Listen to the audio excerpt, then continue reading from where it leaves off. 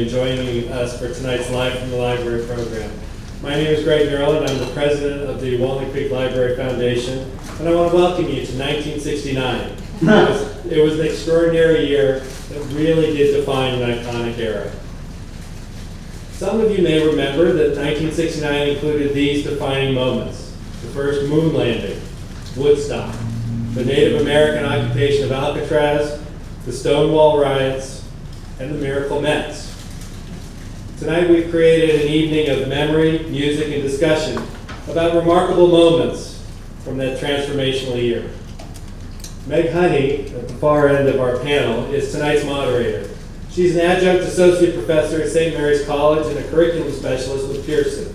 She's a regular moderator of the Newsmaker Speaker Series at the Lesher Center and in 2017, she was Mount Diablo Unified School District's Teacher of the Year.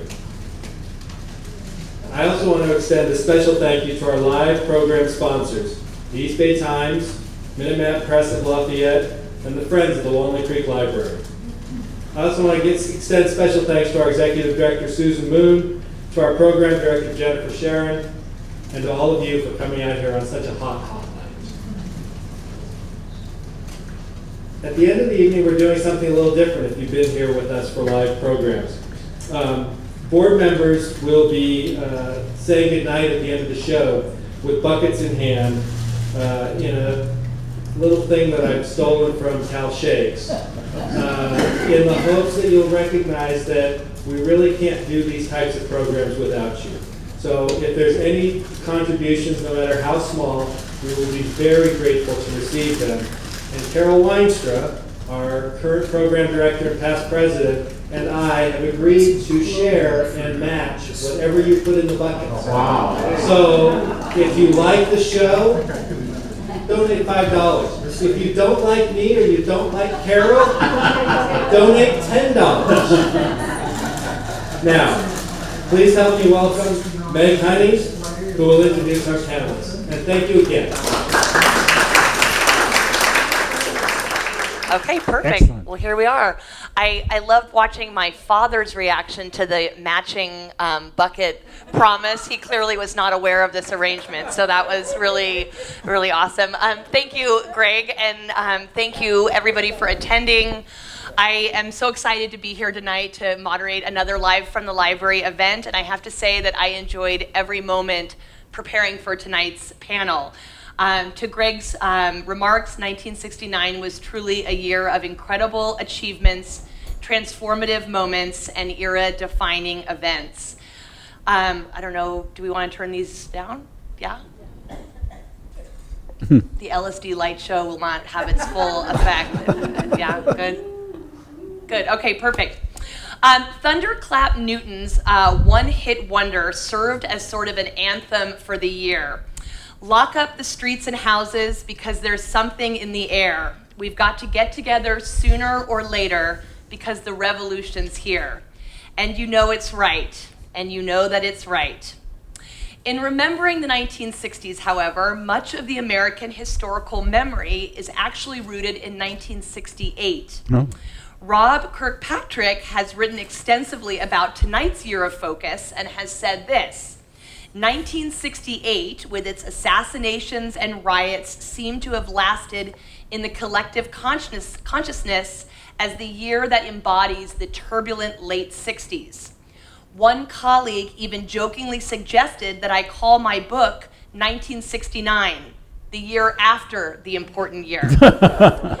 Turn the calendar over from 1968, though, and one finds a 12 month period that is unparalleled in American history. Tonight, we will look at the generation, generation defining year as each season of the year unfolded.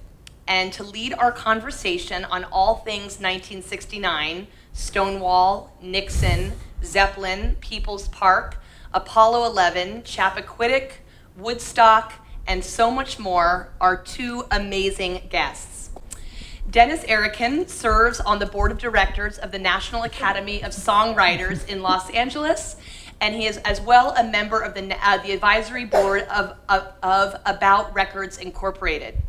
He has also done tremendous work in our local performing arts community and has served as president of Town Hall Theater in Lafayette.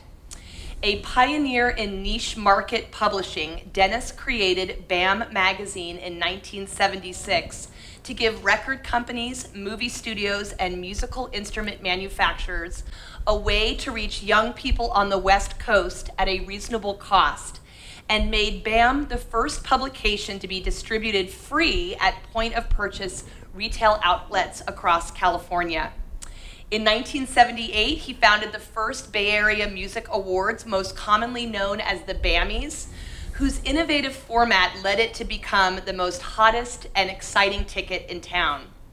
For the last 12 years, Dennis has taught public relations courses at St. Mary's College of California, and he clearly has a groupie in the audience. I'm loving it, and I love your outfit tonight, too. Looking great. Our other panelist is Dr. Glen Gendzel, who is the chair of the history department at San Jose State University Wow. and one of my favorite professors of all time. A proud Bay Area native, Dr. Gendzel completed his undergraduate work at the University of California, Berkeley. And I'll stop here. He is now a visiting professor at Cal this summer, teaching a California history course. Um, he then earned a master's degree and PhD at University of Wisconsin-Madison. He has taught at the University of Georgia and at Tulane University, and he completed postdoctoral research at the University of California, Irvine. After several years teaching at Purdue University, Fort Wayne, Dr. Gendzel returned to the Bay Area at last to teach at San Jose State. He has published articles, book chapters, and reviews on subjects ranging, ranging from California mythology, politics, and migration to baseball business, social memory, and McCarthyism. Please join me in welcoming our outstanding panelists. And before we officially kick off our discussion, I was hoping that you both might say a few words about 1969. Are there particular events or moments that are especially significant? Glen, you- I'll put you on the spot. You want me to go first? Yes. Oh, great. well, uh, good evening, everyone. Thank you for coming. It's great to be here with you. Uh, we're here to uh, pay homage to a date, the year 1969, and that's wonderful because historians are fond of dates. Uh, yeah, we're into it. And uh, 1969 really stands out as the culmination of an incredible decade. Historians will be the first to tell you that not all decades are created equal. uh, some have a lot more going on in them than others. And the 1960s were just cram packed, one of those times when you know, history hit the fast forward button and things just started whirring past at a dizzying pace. Maybe some of you remember. Um, I have memories of the 60s too, but I was born in the 60s, so my memories are the little kid memories uh, of the 60s. But I do, you know, now as I've studied the history of the decade, I understand a lot of the things I remember as a child much better, uh, such as uh, hippies. Um, I, I remember seeing hippies, you know, on the side of the road hitchhiking, uh, at least until 1969 when uh, the Manson killings put a stop to that. Nobody would pick them up anymore. Um, but um, I'm really looking forward to uh, reminiscing uh, tonight about uh, that amazing decade and uh, sharing some of the things I've studied about it with you. Thank you. Dennis? And I'm Dennis Erokan, and um, I'm clearly 10 years older. So I got to be a teenager during the 60s, and I got to be a uh, thank you so much, and uh, for the applause. And um, I got to be 18 and 19 during 1969, which, by the way, for a guy was one of the coolest year numbers that you could possibly have. So I was really impressed with that. I'm sorry, as a teenager, what are you going to do?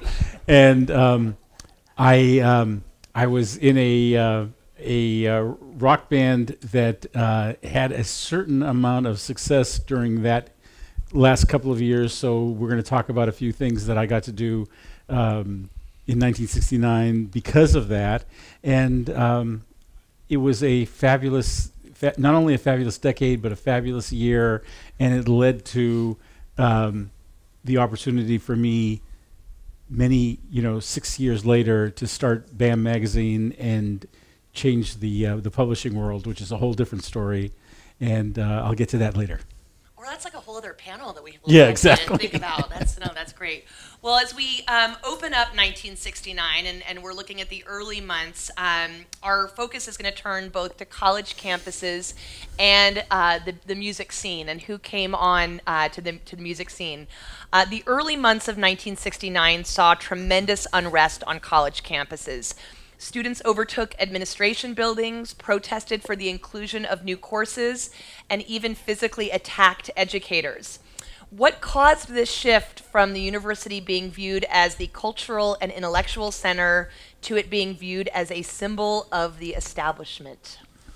Oh, well, 1969 came at the end of um, some very painful years of polarization in American society. I mean, we think we're polarized now between red states and blue states, but the 1960s were, uh, in many ways, worse um, the Vietnam War caused a tremendous rift in, in every uh, state. Yeah, right, right, in every state. Um, and, and really uh, split Americans right down the middle over their position on this one painful, divisive issue.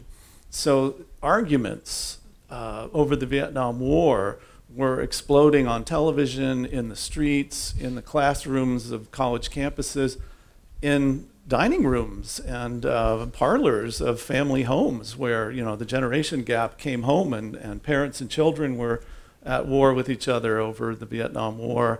Neighbors were at war. Um, that's something I remember as a kid in the 60s on our little idyllic cul-de-sac that I grew up on, just like 10 houses in one block. You knew by the end of the 60s who was pro-war and anti-war, who were the hawks and who were the doves and it was hard for the hawks and the doves to speak to each other.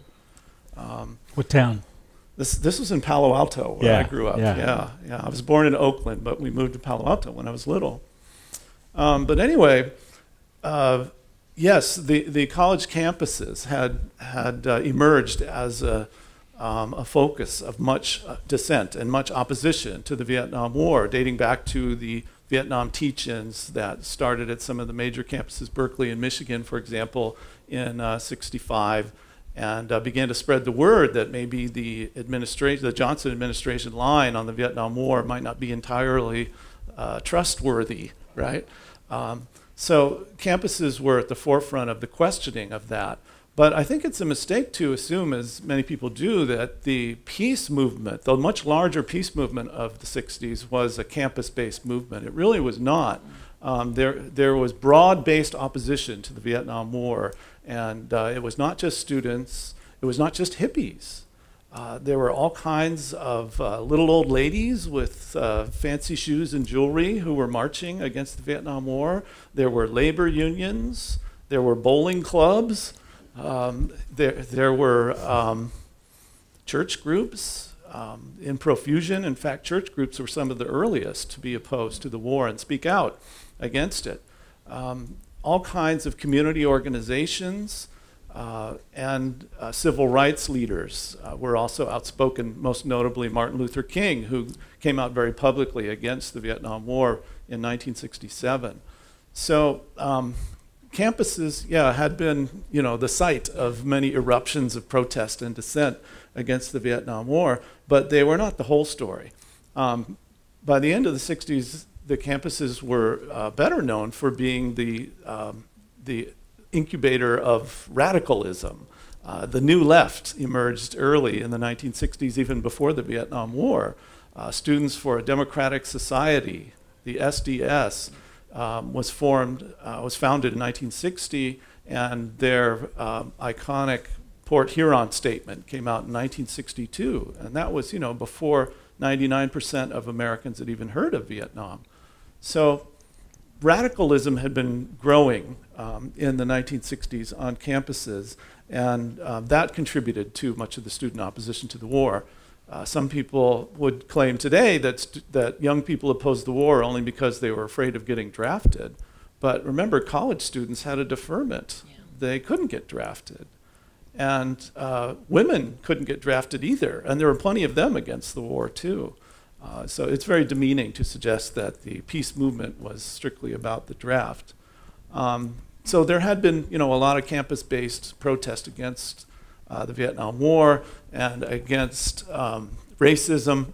Uh, the civil rights movement was strong in a lot of campuses. 1969 saw some uh, local eruptions that were uh, very public and uh, sometimes violent. San Francisco State had a very prominent student strike. It started right at the end of 68, but it continued well into 1969, where um, students were demanding a black studies department, the hiring of more black faculty, and admitting yeah. more African American students too. And ultimately, even though there was uh, you know horrible scenes where the San Francisco cops came to campus and beat people up, um, ultimately, the students were successful in obtaining, um, uh, you know, pressuring the administration to create the nation's first ethnic studies department, the Black Studies Department at San Francisco State. And then likewise, UC Berkeley, my alma mater, where I'm teaching now, it's very exciting. Uh, Cal also had a student strike in 1969 demanding a whole college of third world studies. And uh, that ultimately led to Cal's Department of Ethnic Studies, which is still an important force on campus. Uh, but yeah, 1969 saw a lot of campus unrest, um, no longer surprising to America, which was used to it, but uh, perhaps um, most prominently in the decade, Harvard had uh, a bunch of students occupy the administration building um, and you know, I can't imagine many people were expecting that. Harvard students demanded an end to ROTC on campus. Um, and once they had taken over the administration building, they rifled through the files and they hmm. found lots of evidence of their administration's involvement in the CIA and in Defense Department research um, which they gleefully published, you know, for the world to see. So, you know, sort of WikiLeaks before WikiLeaks. um, but this was another reason that college students uh, uh, focused on the war as a point of opposition because many of them were aware of their universities being involved in the military industrial complex, as they called it. Yeah. Uh, and the defense contracts that their universities depended on. That's great, yes. So let me hop in with a couple please. of music things, if you don't mind. So, so as we know, "Fortunate Son" by Creedence Clearwater was about the Vietnam War. "Give Peace a Chance" was about the Vietnam War. John Lennon and Yoko Ono spent the bed in peace, which I think was an interesting concept, and you know, on a, on a number of levels. But uh, but they just spent a number of days in bed to get the word about peace out there. Um, Joan Baez was the vocalist of Peace, and that's how she she kind of described herself. And uh, so that was a, another interesting thing. The fascinating thing for for this guy was um, um, I I was the right age to go to Vietnam, so I thought, okay, well then I better you know like be prepared for that. So I I went uh, I hitchhiked to uh, I think to Oakland from San Jose um, uh, to to go to the um, uh, whatever the place was that you, you go to to to uh, um, get checked up, and I went. Pardon me. Induction center, exactly right. Thank you. And while I was there and going through the whole process and just thinking, okay, I'm going to go to Vietnam. I'm going to live another six months, maybe a year, and that'll be that. So that's the way it goes.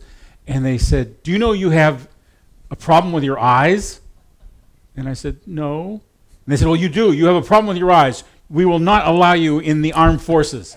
And I said, You won't? All of a sudden, my eyes grew very large. and I hitchhiked back to San Jose and uh, never had to worry about that again. The, yes, thank you. Mm-hmm. The, uh, the, uh, so, anyhow, but, but, but while I was driving back, and by the way, I hitchhiked so that meant that this young woman picked me up and she uh, she drove me all the way back and we listened to songs all the way back to San Jose which luckily enough she was she was going to drive me within a you know a few blocks of my house and and they were all these anti-war songs which were part of the world at that time so I got to hear all that uh, and we'll we're definitely going to tap into your immense musical knowledge and experience too. But um, it's important to certainly recognize the the music that really created um, inspiration and helped lift people up and uh, got messaging out there. Absolutely. Um, but while we're we're kind of talking about um, uh, sort of pop culture, um, 1969 definitely signaled a change in social mores on Broadway. Audiences were shocked by O Calcutta and Hair. And on screen, films like Midnight Cowboy, I Am Curious, Yellow, and Easy Rider pushed viewers way outside of their comfort zones. The best selling books of the year included Portnoy's Complaint, Naked Came the Stranger, and Everything You Ever Wanted to Know About Sex But Were Too Afraid to Ask. What accounts for this shift? Was art reflecting the attitudes, or were attitudes influencing art? Who are you oh, asking? Either, either one. You- Either one. Well, the 1960s were the culmination, dare I say, climax of. Nice. Very nice. sorry. That's two sex references already, and Yes. we're only a few minutes in. Excellent. We're totally. You brought it up. Yeah, you're right. You're right. My fault. of many years of loosening of mores, um, loosening of standards of public discussion of sex. And this is the tricky thing for historians. I mean, we can always assume that people have been having sex in the past because that's why we're all here. But uh, we can't really measure that. What we can measure is the amount of public discussion of sex that goes on at different times. And uh, there, there's a gradual curve where Americans slowly came up from prudery. You know, they, they began to discard An academic term. Yes, Yes. I love it. uh, slowly. They, they began to separate from the traditional sort of puritanical standards that had uh, made discussion of sex in public taboo. Um, that, that was a very old taboo in America, which, you know, people had gotten around with all kinds of sly um, coded words and, and symbolism. And, you know, if you like old movies and music, you know what I'm talking about. But um, there had been a lot of milestones along the way. I mean, Playboy magazine was founded in 1953, so Hugh Hefner had been doing a lot to loosen up uh, the discussion and, and uh, display of the naked human body that uh, was acceptable. Um, and likewise, Helen Gurley Brown's magazine, Cosmopolitan, came out in 1965. And uh, together, you know, Hefner and Brown were doing a lot to dismantle the old double standard of sexual morality, which had been so repressive and, and uh, pervasive in American culture for so long. Um, so there, there was a lot of discomfort with the increasing amount of sex that was appearing in cinema and on the stage. Um, and um, even on television, you know, at the beginning of the 60s, you couldn't even depict married couples in bed together, right? They had to have separate beds. Uh, but by the end of the 60s, okay, you know, Mr. and Mrs. Brady get to sleep in the same bed. Um, but that's as far as it went. But still, Yeah. um, that was a big advance. There was a, um, a major Supreme Court decision called Stanley versus Georgia in the year 1969 that legalized the possession of pornography and uh, really made just about anything goes. Uh, so that was, you know, the opening of uh, quite a bit of floodgates about public um, demonstrations, shall we say, of, of sexual material. Um, and of course, the, the uh, breakthrough of Hair, that uh, musical that you mentioned, where you know the cast members cast off all their clothes at uh, a crucial point of the performance, that um, became a huge international hit. That was one of the biggest stage sensations of uh, the post-war era. So yeah, uh, the 60s were a time of the sexual revolution when the pill became available at the beginning of the decade, when Masters and Johnson released their report in the middle of the decade uh, showing that we were having a lot more sex than uh, maybe people were willing to admit with people maybe we weren't married to, maybe uh, people not of the opposite sex. These kinds of ideas were becoming more publicly expressed. And, you know, um, not to poach on Dennis's turf here too much, but just to use a musical example, the Beatles started out so innocently in 1964 singing, I Want to Hold Your Hand. I mean, what could be, you know, more tame than that? By 1968, they were singing, Why Don't We Do It in the Road? which is not exactly subtle. And then They meant hold hands. and then by 1969, with the Abbey Road album, come together. Think about All it. right, this is quite the event at the library. Dennis, Yes. what would you like to say about all of this? Well, Great. the um, a, a, a couple of quick things, but one is um, hair turned out to be so amazingly successful. Aquarius from Hair was done by the Fifth Dimension and was number one on the charts. Let the Sunshine In was done by the Cowsills and it was number two on the charts. Hair was done by Oliver and it was number three on the charts. Good Morning Sunshine was done by Three Dog Night and was number four on the charts. And Easy to Be Hard was done and it was in the top 10. So Hair had huge success. You're absolutely right. If sex sells, that's what they. Well, it turns Said. out sex does sell, which is really exciting, um, and um, and it certainly made it easier for you know some people to to uh, make that happen. Um, another thing that I just wanted to mention was Easy Rider, um, and this this is something that we want to keep in mind because 1969 has a has a number of specific things that make it different, and one of them was that Easy Rider was the end of the swinging 60s. So that that's what it meant to be, and that's what it was. So it, you know we have to keep in mind the fact that that that uh, the '60s had this entire culture going on, and 1969 was the time when it hit the top, and then it shut down. Yeah, absolutely. I think it's interesting with Hair. There was a great article about the 50th anniversary of Hair and how, despite the tremendous success and all the singles that came out and the, um, you know, the acclaim on Broadway, um, the Tony Award selectors um, were so uncomfortable with Hair that when it was time for the uh, cast to perform at the Tonys, they made every effort to keep the sound down and to really um, interfere with their performance. And I think it's really interesting. The musical that won Best Musical in 1969 was 1776. Yes. That's not sending a strong enough message in terms of the anti-message of hair. I And, think. and by the way, as a person who eventually went on to start a music awards show that went on for 27 years, that year was really important to me because I watched that show thinking Hair is going to win everything, and it won nothing. yeah, yeah, yeah. The the public wasn't quite ready yet. No, no, no. The public was, Was ready. The Tony The selectors, right? You're right. Absolutely. The, the, the, the people in charge yes, were not ready. Not ready yet. Um, I'm going to shift gears a little bit um, because um, we, we often um, connect Earth consciousness uh, to the 1970s, but there were there were several key events that took place in 1969 that served as an early impetus for the environmental movement. Um, could you discuss these events and their long-term legacy or consequences? Yeah, the 1960s were uh, the decade when Americans slowly began to realize that as a nation we were poisoning ourselves to death. Um, the, the problem of pollution, which uh, few people had worried about before, became paramount.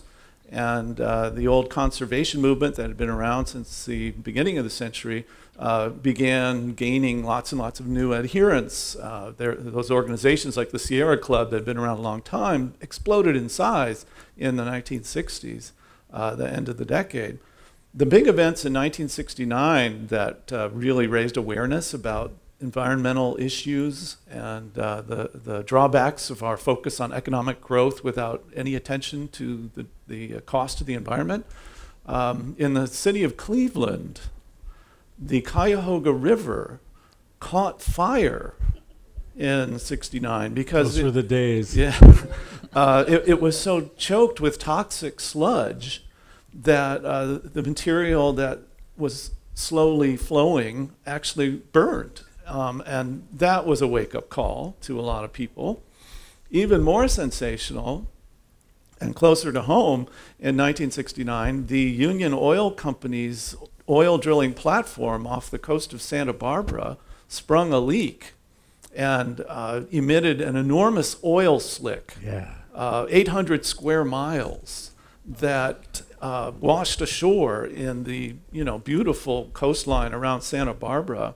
Many many miles were suddenly coated in this thick sticky black goo, where um, countless birds and sea mammals normally lived, and now they died in this toxic disaster brought about by one corporation's profit making activity, and I should say, one California governor's willingness to let them skirt safety standards. Governor Ronald Reagan was a big fan of offshore drilling and, and wanted to have as much as possible. Drill, baby, drill, like some people like to say now.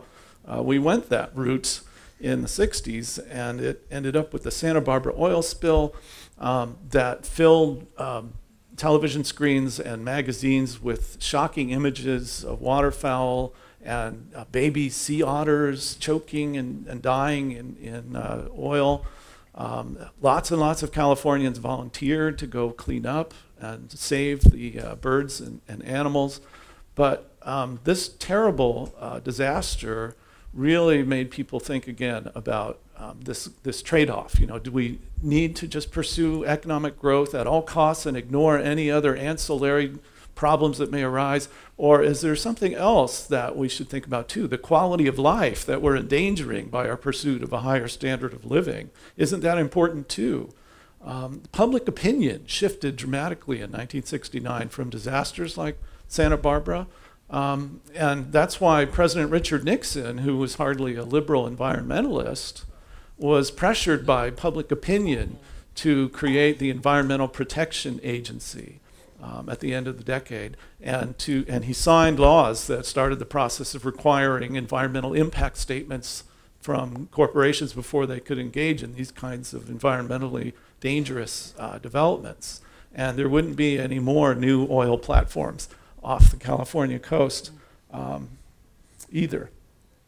Another, another um, point I think in the 60s that, and 69 in particular, that helped to raise awareness about that are photographs of the planet Earth from outer space. Uh, the 60s were the great decade of the space program, the Apollo missions in particular. And um, once they were out there, far away from the planet, heading towards the moon, they were able to turn around and take photographs of our planet such as had never been seen before. And uh, there's something about the image of Earth as a tiny speck of green and blue floating in this vast, dark universe, airless and lifeless, that forced people to think, for the first time perhaps, about how we have to protect uh, the only biosphere we have. Um, because, you know, it's not about saving trees, it's about saving us. We have to live in this environment, yeah, right? So we need to protect it. So I think um, this, the culmination of the space program with uh, flights to the moon, turning around, taking pictures of the Earth, had a great impact on environmental awareness as well. Yeah. Dennis, do you want to weigh in on environmental or should we move on? Well, just, just uh, very, very, just for a moment, I made a trip down to Los Angeles and, and looked at the, um, the beach, mm. and it was pretty horrible. Yeah. Seeing it in person. Yeah. Um, well, as this is a great segue to talk about the Apollo 11 mission, um, but I, am going to frame um, Apollo 11 uh, in a way that will also bring us um, attention to another event of 1969. Um, the Apollo 11 mission brought John F. Kennedy's 1960s promise of a moon landing to fruition. However, the extraordinary feat occurred while Ted Kennedy had to answer for what happened on Chappaquiddick Island. Um, could you discuss both events, what they meant to the American people, and how 1969 media coverage helped either shape understandings or um, keep the American people in the dark? Well, those are two very different events. Mm-hmm. Um, the moon landings were the culmination of a very long campaign uh, to bring the United States to the moon. And really, the roots lay in the Sputnik panic of 1957 the previous decade when the Soviet Union leapt ahead in the space race by launching the first orbital satellite in the history of the world, causing a lot of uh, self doubt and, and soul searching in the United States about how did we let the Russians get ahead? You know, think of the Cold War context, those of you who remember the Cold War days, right? Um, so the United States began investing heavily in math and science education and in the space program that was administered by this new agency, NASA.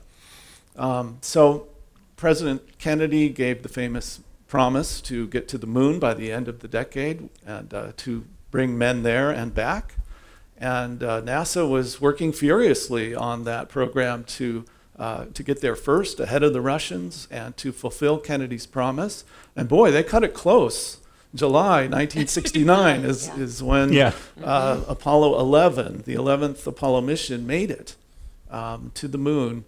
And it was a great triumph, uh, not just a Cold War triumph for the United States, but it was a triumph for humanity. People all over the world watched in fascination at those grainy, black and white, flickering, poor quality video images of uh, the astronauts, uh, Neil Armstrong and Buzz Aldrin, as they descended from the lunar module and bounded around in the low gravity environment of the moon and uh, planted that uh, sort of aluminum flag on uh, the surface of the moon. And, uh, you know, some people think it was all faked in a TV studio, but historians don't think that. Uh, it, it was a great triumph um, of a decade of effort, uh, of, of American technology, um, of determination. Um, some people saw it as a waste of money, but it still uh, resonates as an incredible achievement for humanity. And remember, that's what Neil Armstrong was talking about when he stepped off uh, onto the moon's surface. And he said, one small step for man, one giant leap for mankind. He meant to say one small step for a man, Yeah. but we'll forgive him for that. Um, He was on the moon. Yes, yeah, right. and and we forget now that these guys, these astronauts, were the rock stars of square people, right? The straights and the squares who weren't into the Beatles or the Rolling Stones, and you know they put their fingers in their ears when that horrible music came on. Didn't appreciate their children's heroes. They loved the astronauts. Uh, they were straight arrows. They all had crew cuts. Um, and you know they they uh, were always depicted with their wholesome families for NASA propaganda. And uh, I don't know if you've ever read The Right Stuff by Tom Wolfe or seen the movie um, from the 70s. they really captured that whole spirit. Now, ironically, the same week that the um, the Apollo astronauts reached the moon, Ted Kennedy drove off a bridge. Uh, Ted Kennedy, of course, was the youngest Kennedy brother the heir apparent of the Kennedy dynasty, legacy. Um, Joe Kennedy Jr. was the one that the family was grooming for the White House, uh, but he died in World War II uh, in, in a uh, secret mission plane crash. Uh, then, of course, uh, John F. Kennedy uh, fulfilled the family dream of becoming president, and he was tragically assassinated in 1963. So the next brother in line, Robert Kennedy, seemed to be headed towards the White House, uh, headed towards the Democratic nomination in 1968, until he was uh, horrifically gunned down in a hotel in Los Angeles on the eve of his victory in the California Democratic primary in June 68. So at that point, the mantle kind of fell on the youngest son, the last one standing, uh, Ted Kennedy, who, you know, um, was not as capable, uh, not as admirable, shall we say, as his brothers, and uh, who bent under this heavy load of expectation and uh, demand that he uh, get serious about his political career. He was already in Congress and then the Senate representing Washington. But um, for those who knew him, uh, he was not a serious person and was a party animal. I mean, he was notorious for that in Washington. So um, there came a night when uh, he was at a party in uh, Martha's Vineyard area in, Was- in uh, Massachusetts. And uh, he left the party with a young woman who was not his wife. Uh, who, And it, wa it was a party honoring the women who had worked so hard on Bobby's campaign, Yeah. right? Yes. yes. Right. So it, there was a lot of, I mean, that's a lot of emotion around that too. Continue. Yes, a small party, you know, with a bunch of uh, these uh, older men. and- Married and- men yes, with, yes, and the younger yes, women who younger were women who worked on- staffers. Yes, Yeah. yes. So he left with one of them, and um, we don't know if he was drunk or not. Uh, you know, what do you think? Um, but uh, he he missed a turn and drove into uh, a river uh, when he was on his way to a ferry boat back to the mainland, and um, Mary Jo Kopechne, the woman he was bringing from the party, died in the car that night. She drowned in Ted Kennedy's car. Well, somehow he survived. Uh, he emerged from the crash. He says he doesn't know how or why he survived. He doesn't remember what happened. That was his line. Um, but um, afterwards, uh, even more shockingly, he didn't report the accident. He didn't seek help from the authorities. Instead, he went back to try to get his friends to help him. Um, and he went back to his hotel and he called his lawyer. And he, he didn't contact the authorities until they came looking for him, saying, Hey, we found your car in the river here. Uh, do you know anything about this? Um, so, you know, at that point, he owned up. But his behavior after this accident was terribly disgraceful. And uh, eventually he pled guilty to leaving the scene of an accident and not reporting it. Um, that's as far as it went. But uh, the American people were appalled, you know, by this, uh, shall we say, display of uh, priorities or the kinds of choices that a man like that was making. So um, this was generally seen as the end of uh, the Kennedy brothers' hopes for getting back to the White House. Uh, Ted Kennedy continued in the Senate and became actually a quite effective senator for Massachusetts, but his uh, White House plans never quite recovered. He did make a run in 1980 challenging uh, President Jimmy Carter for the Democratic nomination, but he failed in that, uh, in that effort, and uh, his political career was never the same. Yes, well, and, and I'm going to shift again. And Dennis, um, I, I'm really interested to hear your thoughts um, about Woodstock. Um, it was it was not the first major music festival, and it certainly wasn't the last. Um, yet it continues to captivate the historical memory of so many people, despite the fact that the concert was rife with challenges and was not a magical experience for most people who attended.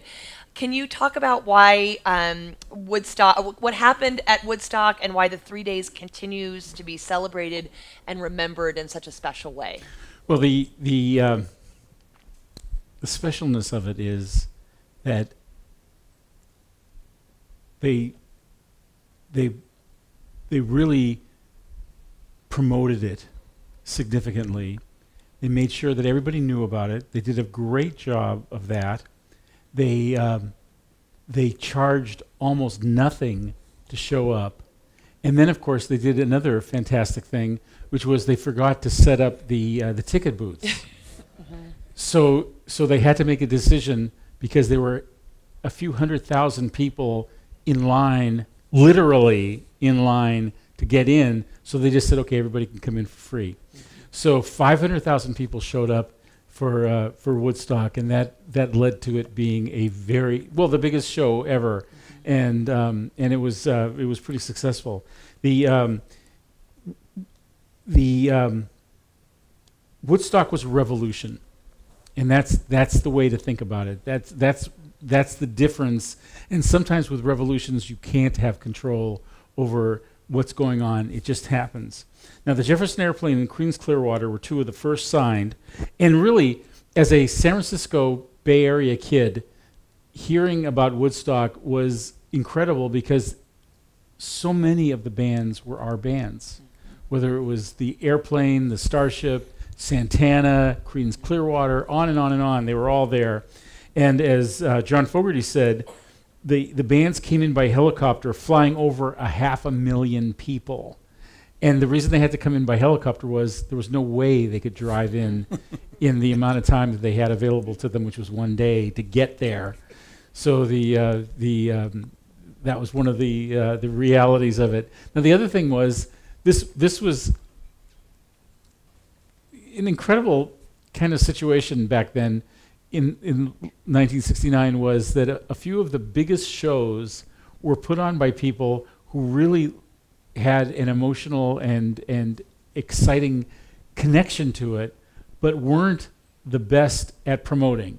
Now, let me just tell you that that, uh, and I have plenty of stories about this, but my mentor was the concert promoter Bill Graham, and Bill Graham knew how to put on shows, and he put on shows in ways that made things happen. But like the Woodstock guys and eventually the Altamont guys, they didn't know how to put on shows.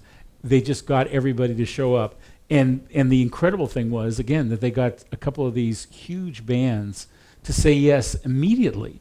So once they got they once they got the the airplane and the Creedence to say yes immediately, they um, then all the other bands started showing up or you know saying yes and included um, um, Jimi Hendrix, Janis Joplin, The Who, the band, Joan Baez, Crosby, Stills, Nash and Young, Jefferson Airplane and Santana, Country Joe and the Fish, Ten Years After, Sly and the Family Stone, all of these, and that was just you know part of it. Yeah. There were there were more of those bands, and what it, what Woodstock did was set up a vibe, a concept, which was that, which is still happening. And I don't know how many of you people go to some of these shows now, but but the idea is that you go to a show, you you drive. It takes a really long time. You park your car in the parking lot. You sleep overnight. You get up. You go into the show. Then you go back to your car and sleep overnight the next night. And then you go back and see the next the next show. And this is uh, this is something that's been going on ever since but uh, but it Yeah, was those Coachella kids think they invented something that they clearly did not. Yes, so this is. so did not, and um, and it's you know just a fascinating concept, and um, uh, you know we'll get to. The interesting thing is, in the same year, we had the high point and the low point, with between uh, between Woodstock and. Uh, Yes. Altamont, you're Yeah. talking about? Yeah. The, right, the right. apocalypse. Yes, Yes. we will definitely. The apocalypse. We, we definitely want to talk uh, Yeah. about that. But anyhow, that so came at the in the case of in the case of of uh, Woodstock, um, the uh, the people who put it on barely got out of there with you know with their without being destroyed financially. Yeah. They didn't make a lot of money, but at least they got enough to get out of it without again without being destroyed financially. Everybody had a good time, we think. The um, and um, and you know things happened. That's great. Yeah, th- uh, excuse me. Yeah, the go ahead. the uh, promoters uh, were saved by the film. That Yes. was Oh, yes. A huge Thank you. success. Yeah, the film Yeah. was a huge success. They success. lost money on the concert, but they had the rights to the movie, which Yeah. you know was almost an afterthought, and Yeah. ended up being a giant smash. So Yeah. they, they made a lot of money on They that. made the money on that. I'm sure they were right. pleased. Yes. Um, I remember reading though, um, the Who were furious. oh, yes. yes. they weren't the They only waited till ones. in the. Yes. Yeah. Yes. the rain in. Yeah. Yep. Well, and it- that with the weather and everything and the electric the electrical issues, I'm gonna um, pivot again um, because it's June and we're in Pride Month and um, the Stonewall riots are receiving a significant um, focus and renewed scholarship. Um, recently, the New York Police Department formally apologized for their long-term harassment and violence against the LGBTQIA plus community, and activists like Marsha P. Johnson and Sylvia Rivera are finally being recognized and honored for their role in the standoff with police. Um, how do the Stonewall riots intersect with other movements for liberation during the 1960s, and what do they tell us about contemporary struggles for equality? Before you get to that, I just want to say that that at Woodstock, they were allowed in, they were celebrated, and amazingly enough, no one hated each other. Mm-hmm. They just everybody had a good time. So so that was an in, in, you know an interesting concept. In the same state of New York, yes, Yeah. we have these moments happening. Exactly yeah. right. Yeah, uh, well, the Stonewall Inn was a gay bar in the East Village in New York City. And uh, it was typical of gay bars in big cities elsewhere in America, in that the police knew about it and the police would routinely raid these places, um, harass the uh, innocent patrons who were just there to have a good time and meet each other, and uh, arrest them for uh, all kinds of charges that uh, sound like a, a foreign country these days. You know, lewdness and uh, perversion, um, things like that. A horrible time in American history when um, when LGBTQ Americans were harassed just for being themselves. So gay bars were across the land and uh, were, were a popular place for gay people to meet. And the Stonewall Inn had been, you know, raided by the police many times in the past. But something happened that night in uh, 1969. Perhaps it was the civil rights movement that raised consciousness and awareness and demands for equality and respect and, and equal rights. Um, but when the police came in that night, the crowd fought back. The crowd would not let the cops do their usual thing of harassing and intimidating people and busting a few and dragging them off to be humiliated um, at the police station. No, instead, uh, the police were trapped inside by an enormous crowd that formed outside and uh, was shouting and throwing things and threatening to attack uh, the detectives uh, who were inside and, and uh, were actually afraid for their lives because they thought this growing mob was going to break in and kill them. Um, so it, it, was quite a change. The tables were turned. Uh, this is when New York's gay community fought back against the police who'd been harassing them for years. And uh, this was the beginning, for a lot of people anyway, of the gay pride movement. The Gay Liberation Front was formed shortly after Stonewall, and gay freedom parades began to occur across the United States. Um, and this is when people who had been gay forever now began to feel safe to come out and to be open about being gay. There's nothing new, right, about LGBTQ Americans, but what was new at the end of the 60s was it became a little safer, uh, a little more possible to express your true self publicly and um, not to suffer, you know, too much attack for it. So a lot of Americans were very uncomfortable with that. Uh, it took a long time. We're still working on that. Uh, civil rights for LGBTQ people are still restricted. We still don't have complete marriage rights everywhere. But uh, this was the beginning of a major shift. Yeah. Uh, when when uh, the public sphere opened up a little space for um, this sexual minority. Racial minorities had been winning uh, many battles for equal rights at the beginning of the decade, and now at the end, sexual minorities got their chance too. Yeah. Dennis? Well, just on, on the personal level, as a teenager, I thought you were supposed to not like gay people. Mm-hmm. And then, and then this changed my mind completely, and I started feeling more and more comfortable to the point where I, I had friends who were gay, and I knew they were gay, and I had no problem with it. And that was that was something that because I'm 10 years older than you, so so I got to experience that firsthand, and it was a wonderful experience. And and then uh, you know years later, going into the uh, uh, all the various worlds that I've lived in, the, the theater arts, etc., and it's just a normal part of life. It's just a normal part of life. Yeah, there was something about the hippie culture of the 60s, anything goes, tolerance, right?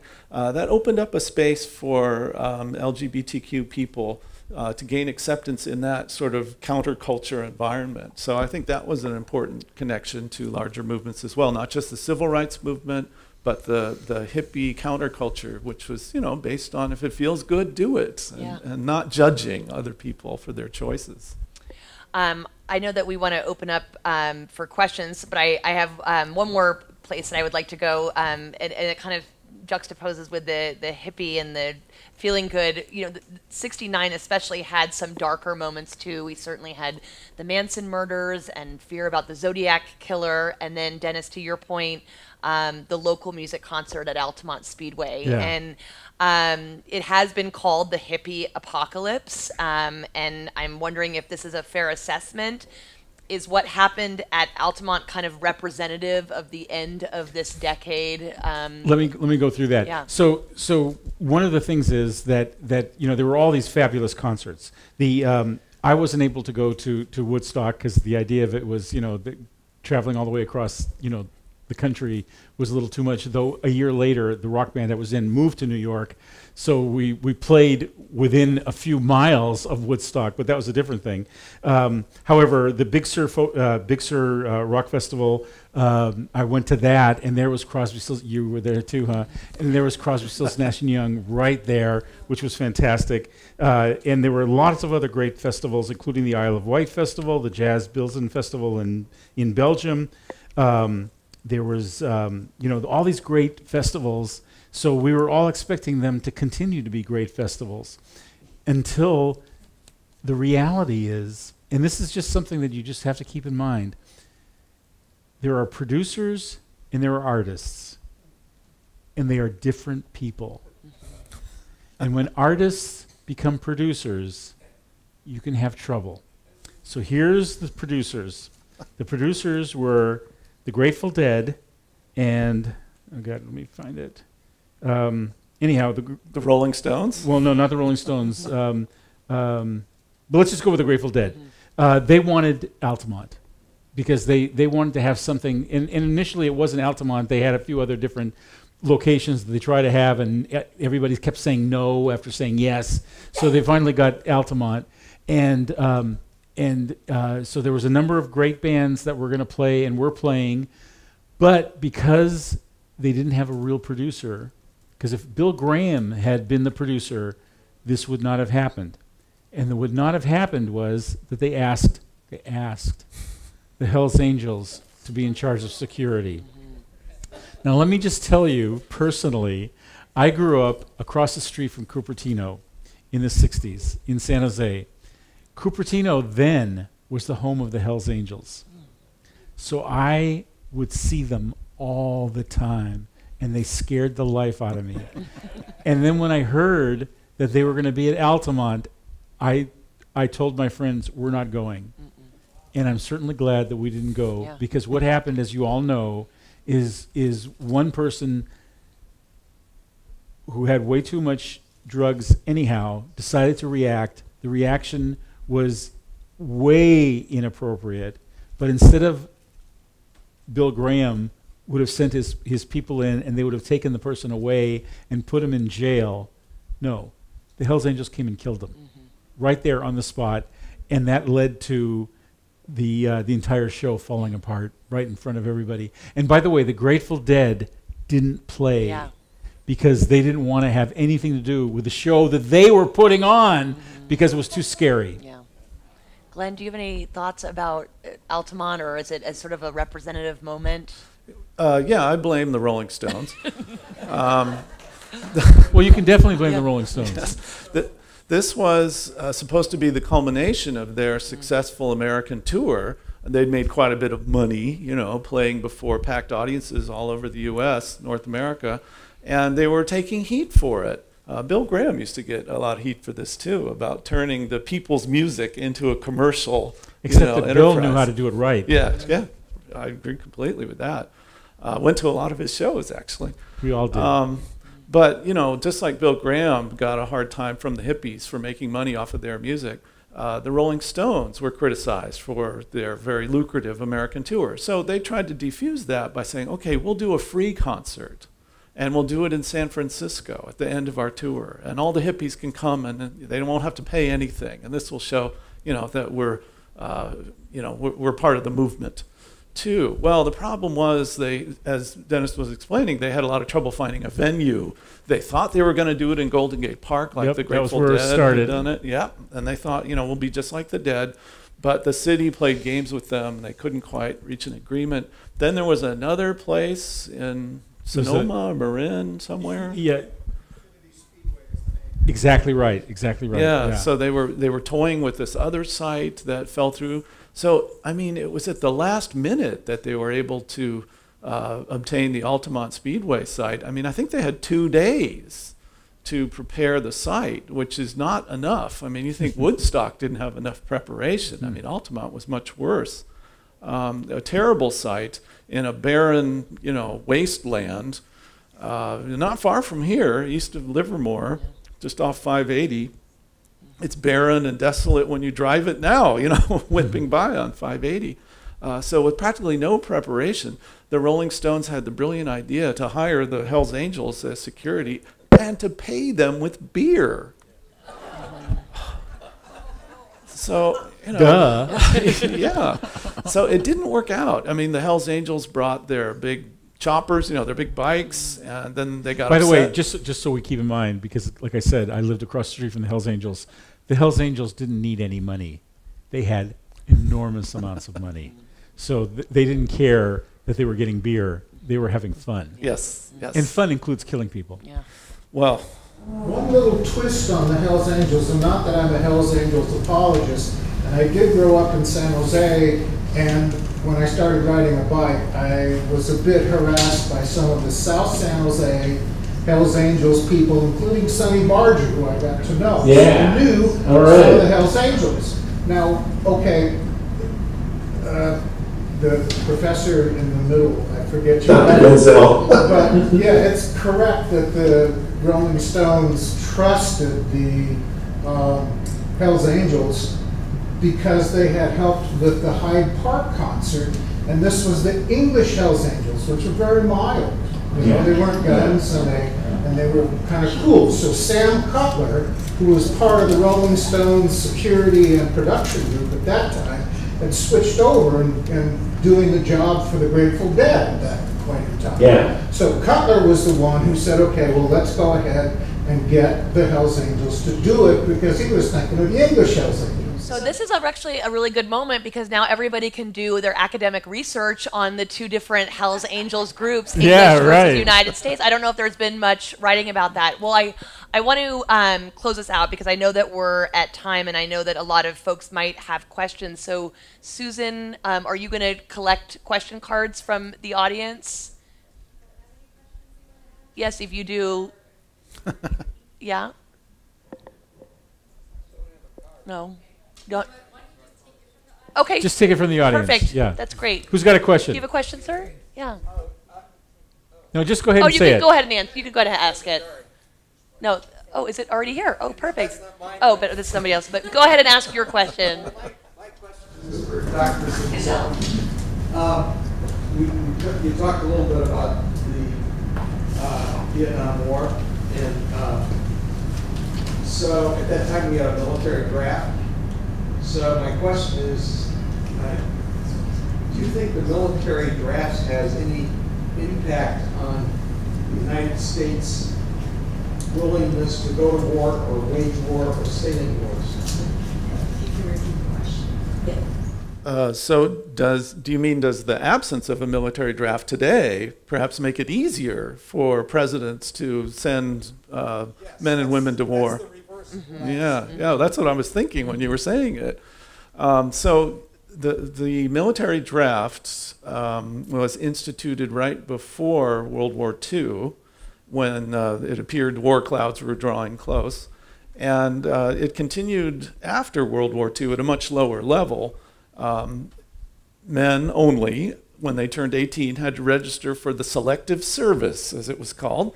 And uh, the chances were very good that uh, if they were certified healthy by their local draft board, and if they were not going to college or doing some other exempt profession like Or had an eye problem. eye yeah, problem, right. Well, They, right? they had to pass the physical, right?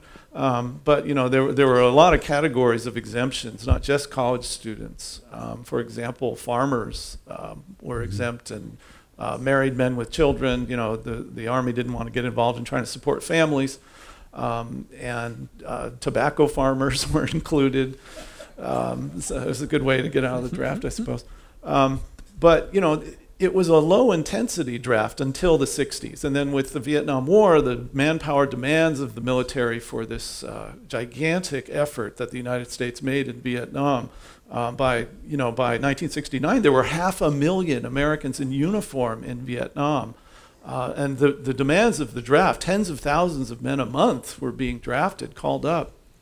And the system was breaking down by the end of the decade.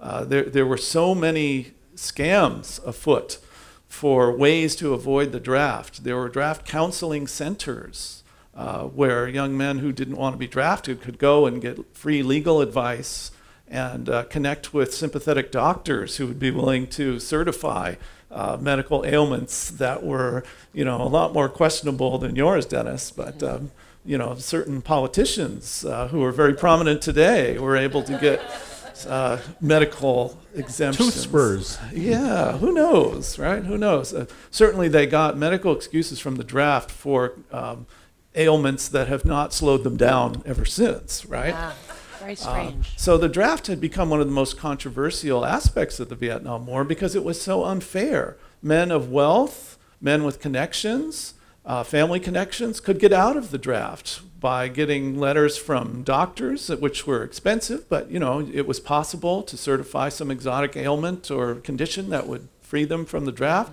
Um, men with family connections, political connections could get into the National Guard.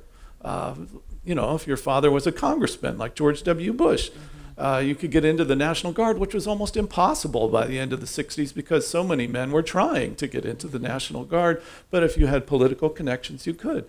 But if you were poor, uh, if you had no connections, um, then you were stuck. Uh, you were more likely to get drafted. And it became a very class and race biased um, selection system that uh, discredited the whole notion of selective service, which was supposed to be about prioritizing manpower. That was the rhetoric of the draft system. So that's why when uh, President Nixon took over in 1969, he instituted the draft lottery. And you know, maybe some of you remember how young men would be very anxious about finding out their That was- number. that was me. Yeah, so that started in 1969 as well. Yep. Um, but certainly, I mean, in, more in, in answer to your question, I think uh, that um, presidents understand that uh, if we were to go back to a draft, it would likely make it much more difficult to build public support for a military intervention, barring an invasion of the United States itself, you know, an attack on the United States. So um, I don't think we're likely uh, to go back to a draft unless something happens where we need a whole lot more people than ever. Um, and uh, that doesn't seem uh, foreseeable. Instead, it's, uh, it's preferable to presidents to keep public opinion at a low intensity level where, where you uh, use uh, poverty, desperation, and the need for college funding as a kind of recruitment tool uh, that fills the, the need for uh, man and now woman power in the armed forces. Somebody asked me about Alcatraz Island. Somebody asked me about Alcatraz. He was there. Yes. Yes, exactly. That's what I'm saying. Okay, so I'll do a quick Alcatraz Island. Sorry. The um, so so an amazing thing happened, which was that Alcatraz was completely empty, and then all of a sudden, a um, a group of people, American Indians, took it over because they wanted to show that they uh, that they owned California, and um, uh, so they took it over. And then this weird thing. I was in a rock band, you know, playing around uh, the Bay Area a lot, and um, one of the uh, the the women who uh, was running this whole thing wa- asked our band to come to Alcatraz to play.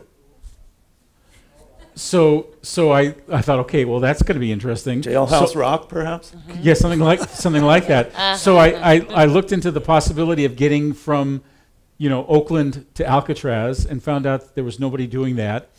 So uh, so uh, I uh, talked to a, um, uh, a, a, a shipping uh, company and they said, well, we'll take you over there. But then the, then uh, then then they called me back and said, no, we're not going to do it. So I I I thought that I would try this. I sent I drove to San Francisco, walked into the San Francisco Chronicle, walked up the stairs to to Herb Caen's office, and do you remember Herb Caen? Yeah, and uh, told the um, his secretary what I needed, and she said, "Go in and talk to him."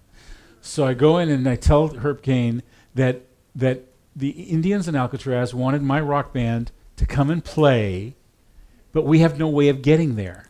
So he said, "Don't worry about it. We're running it tomorrow." So the next day he ran it. That day, Creedence Clearwater called him, and he gave them my phone number, and said, "We have a ship that can take you there." so I said, "Okay." So my band plus my my church um, choir, kids choir, we all got together and we got on that ship on that uh, boat and we dr- drove to Alcatraz. We go to Alcatraz. There's nobody there when we get there, so we have to get out, and we've got the you know these um, amplifiers and things. And but luckily enough, the, the church choir is there to help, and so we get we get everything. And then all of a sudden, some kids show up, and they've got this big um, rolling uh, thing, and they said, "Put it all on here, and we'll take you up to the to the." So we, you know, we go up, and and and Alcatraz has complete, been empty for years, and we're walking and looking at everything, and up we go, and there's this big. Um, uh, area that that uh, that they want us to play in, and it looks almost like there's a uh, there's a um, stage, which is really just a, a you know piece of, of concrete. So we get there, and uh, and then all of a sudden, all of the um, the American Indians show up, and they all sit down in front of us, and they all start doing drugs to the point where by the time we're ready to start, they're all asleep and there's so many of them there and they're all asleep. So we play, the church choir sings, we have a fantastic time. We're thinking, this is so great. But the amazing thing is, there are all these, and, and this is this is the distance we were to the ground. We were, you know, like a foot, and in front of us were just fifty or sixty little kids, all sitting there, standing there, listening and loving it, and just so excited to to hear an actual rock band play with you know with singers behind them. And they said, "Do you want us to show you around?" So we said, "Okay." So these little kids show us around, and by the way, one of them was Benjamin Bratt. Oh. Yeah, because he grew up on Alcatraz. His, his parents were were two of the people that helped start it. Anyhow, they showed us around. They gave us a tour of Alcatraz that was unbelievable. And by the way, 20 years later, when when I had a 13 year old daughter that I could take to Alcatraz on a real tour, the tour wasn't as good as the tour yeah, those little the kids took you. took us on because they knew everything. They knew every bit of it, and it was an incredible tour. So that was my my time on Alcatraz, and it was an incredible experience. We were called Green Catherine, and the reason we were called that is because there was a band called Pink Floyd. So I thought you had to have a color and a name. Do we have one, What- Kathleen? can Yeah. I tell my Alcatraz Oh, story? Yeah, Oh, you have yes, one too? yeah, we'll Okay. Go ahead. Yeah.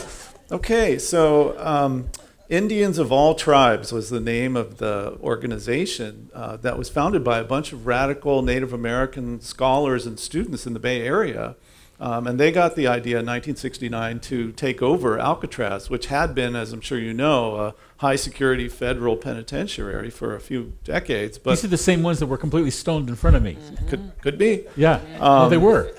And uh, the Kennedy administration closed down the prison that everybody knows about. Um, but it had been a military prison for a long time before that, too. Um, anyway, so, you know, they, the federal government essentially abandoned, as you pointed out, Yeah. you know, it was, it was an abandoned place. So Native Americans dusted off a treaty claiming that uh, they had the right to uh, claim uh, surplus abandoned federal property Yeah. as uh, Native American land. So that, you know, they were brandishing that treaty as they went out to Alcatraz and occupied it in 1969.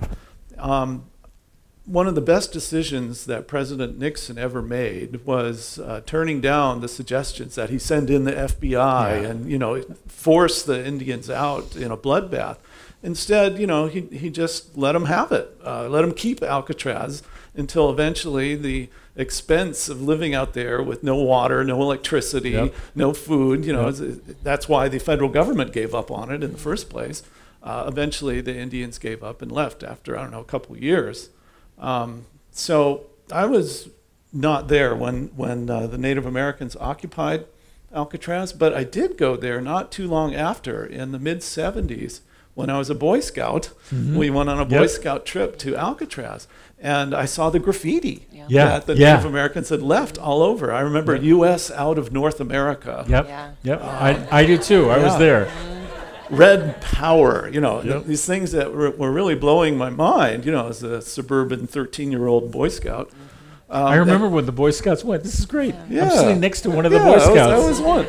Um, so I remember asking the National Park Service guide about the graffiti. And he explained how it was left over from the Indian occupation, which I had not known about.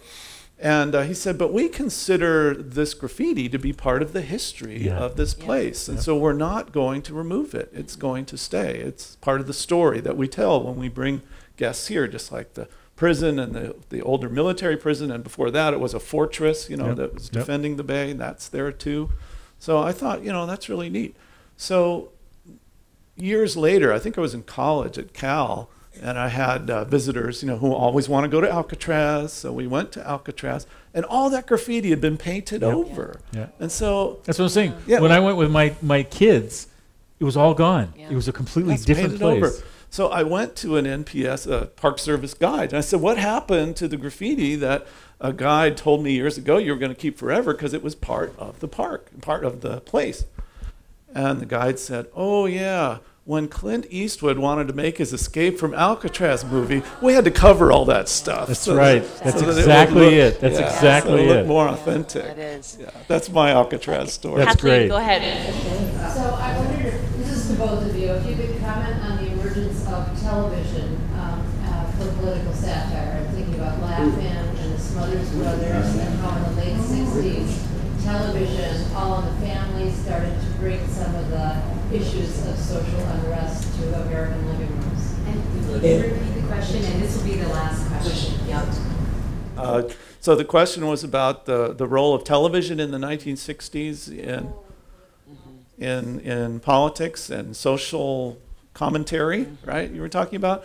Yeah, so um, for the longest time, the, the legacy of McCarthyism in American mass media was to create this uh, incredibly stifling pressure to avoid anything that could be the least bit, quote, controversial, right? That was the kiss of death, controversial, could not be politically sensitive. Um, McCarthyism had, had really stamped out that kind of uh, discussion from so much popular entertainment and had to be heavily muted and veiled, and you know there were ways to do that. Um, so you know, TV in the '60s started out in uh, sort of Leave It to Beaver mode, mm. uh, where westerns were extremely popular. Uh, there, there, was some point um, in the mid '60s where most of the top 10 shows were westerns. Um, and you know, so formulaic and predictable, uh, unwatchable today, at least for me. Um, those were very popular, and you know, political content was entirely missing.